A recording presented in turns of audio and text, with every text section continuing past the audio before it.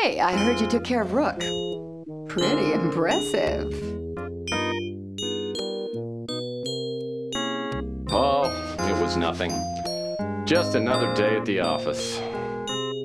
You know, Tex, it must take quite an effort to be lonely, broke, and still so smug.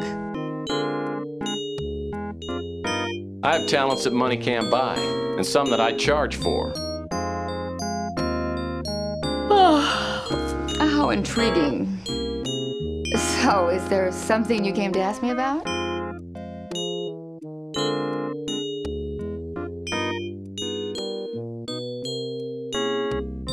Wish I could help you there, Tex. Apparently, it's a real hot item.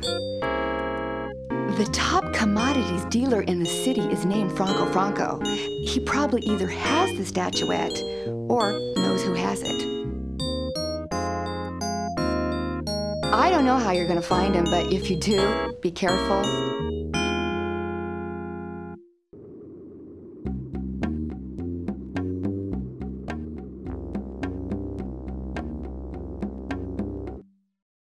Hiya, Murphy.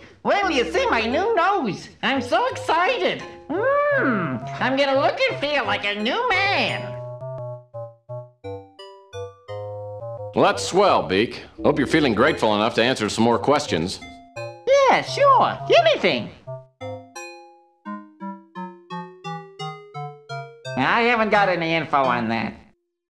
I can't help you there. I've heard his name in connection with some smuggling and illegal importing. I don't know anymore.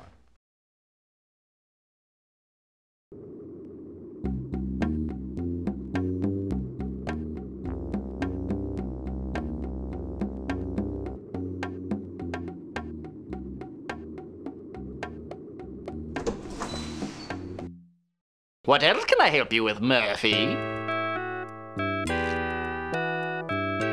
I don't know anything about that. I don't know anything about that. Big time crook. Deals with a lot of uh, smuggled artifacts and the like. He's pretty well connected with the mob and black market here in San Francisco.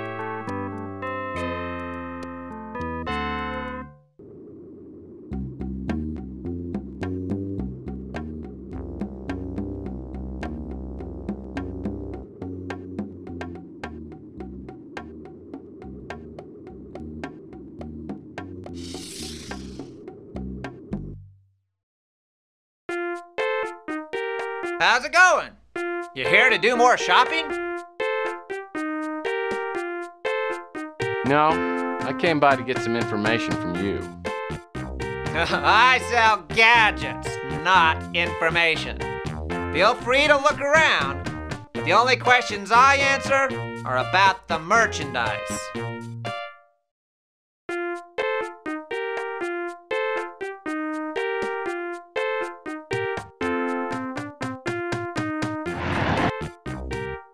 Murphy, guess what? We got the guy who robbed those pawn shops. Turned himself in. Can you believe it?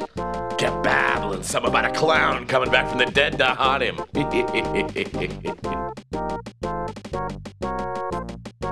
Well, I'm sure you would have caught him anyway. Knowing that you were on his trail probably drove him over the edge. that butt kissing of yours must be a hard habit to break, eh, Murphy? You must want something. What? He's a big time crook. Deals with stolen and illegally imported merchandise, especially jade. Sorry, Murphy.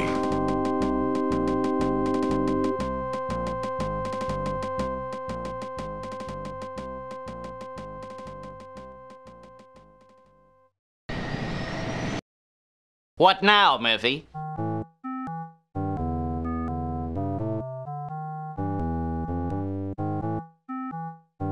Big time crook.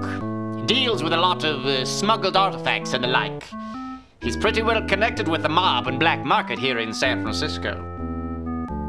You know, I subscribe to a trade paper called Jewelry Weekly. In the last issue, it seems to me I saw an advertisement by someone named Franco, who was looking to buy jade. There wasn't anything of interest in the trade paper, so I threw it out. It's probably still in the trash can out back.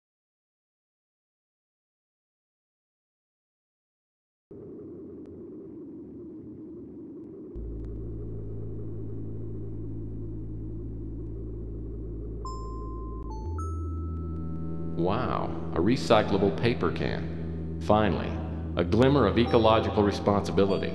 I didn't know Rook cared. This must be the trade paper Rook mentioned.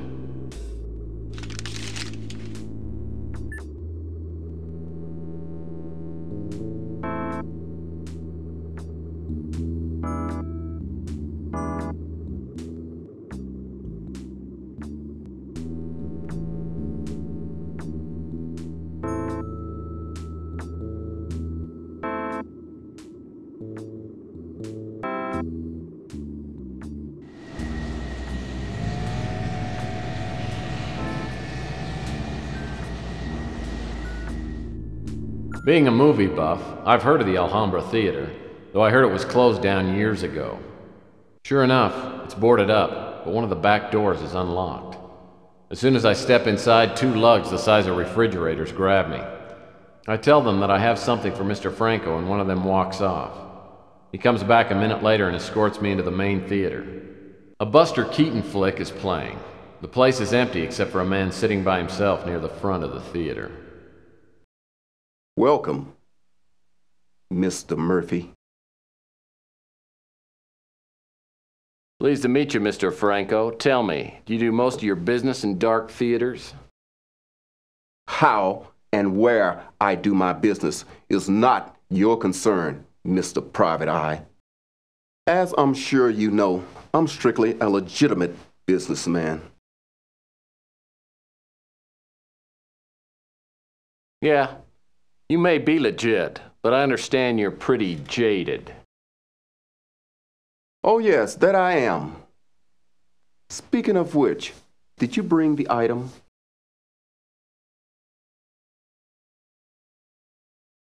You're wasting my time, Mr. Murphy. Ah, a lovely specimen. It will make a fine addition to my collection. Now, I will answer one question to the best of my knowledge. There's a statuette in the shape of a bird that recently came onto the market. You know who has it? Hmm, I know the statuette you're referring to. There were several bidders for it, but I believe it ended up in the hands of Eddie Ching. I can say no more about it. There, now I fulfill my part of the bargain. Don't contact me again. Unless, of course, you find another fine piece of jade. You know the way out.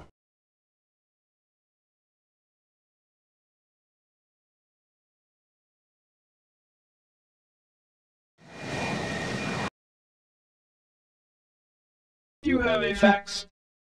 You have a fax? A fax addressed to Tex Murphy from Franco Franco.